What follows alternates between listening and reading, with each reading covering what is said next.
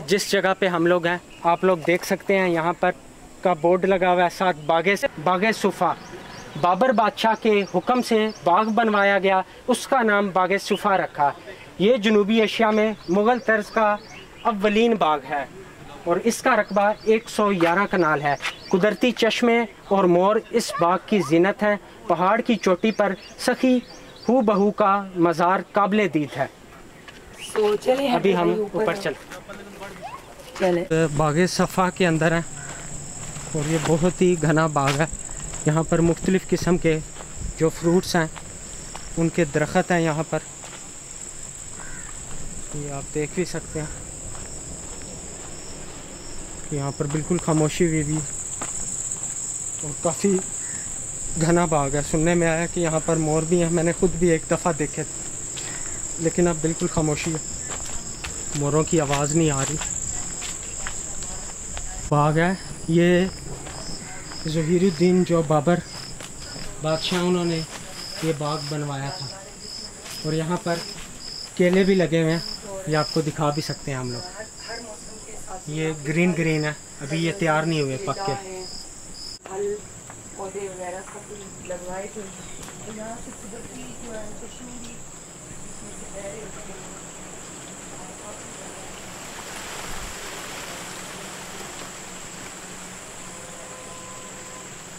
केलों का पूरा गुच्छा लगा हुआ है, लेकिन ये अभी कच्चे हैं, बिल्कुल ग्रीन है।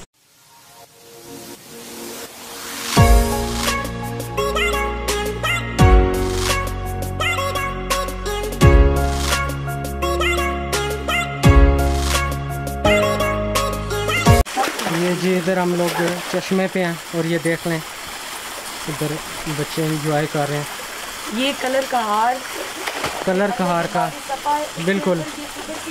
बिल्कुल ये कुदरती चश्मा जो कि नीचे से पानी निकाल रहे हैं। साइडों पे ये देखें बागे सोफा है। और कितना प्यारा मंजर है। और यहाँ पर भी दरख्त हैं और बहुत ही हरियाली है। पीछे दरबार का व्यू है बहुत ही प्यारा। ले कोई ठंडा नहीं है मैंने कहा बर्फ जम जाए बंदे की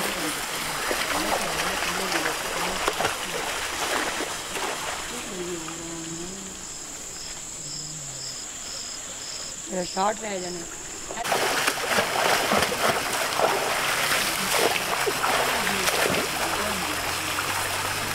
ਆ ਇਹ ਤੋਂ ਇਹ ਤੋਂ ਨਹੀਂ ਹੋਣਾ ਸੀ ਉਹ ਵੇਖਦੇ ਰਹੇ ਸਾਰਾ ਇਹ ਡੋਲੀ ਸੁਣਨਾ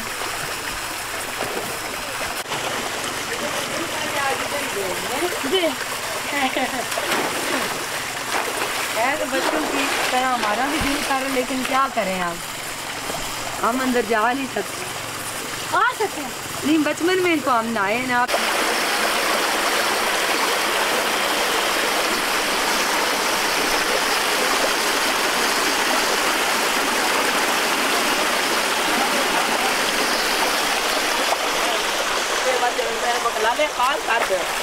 सो फ्रेंड्स आज का ये व्लॉग आप लोगों को कैसा लगा जो हमने कलर कार डेस्टिनेशन की ट्रैवल फॉर एडवेंचर चैनल और एक्सप्लोर विद हैदर अली ने मिलके।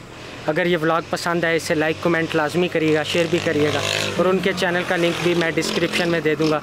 ट्रैवल फॉर एडवेंचर उसे भी सब्सक्राइब करिएगा और उनका कमेंट भी पिन कर दूँगा ताकि आप लोगों को याद रहे। और हमें दुआओं में याद रखिएगा। अल्लाह हाफिज़, पाकिस्तान, जिंदाबाद।